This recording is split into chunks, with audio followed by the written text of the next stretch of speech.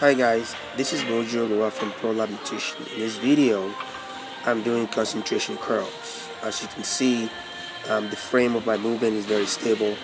I'm just rehinging and hinging from my elbow straight up and down without swinging my body back and forth. Uh, I've seen guys do this exercise.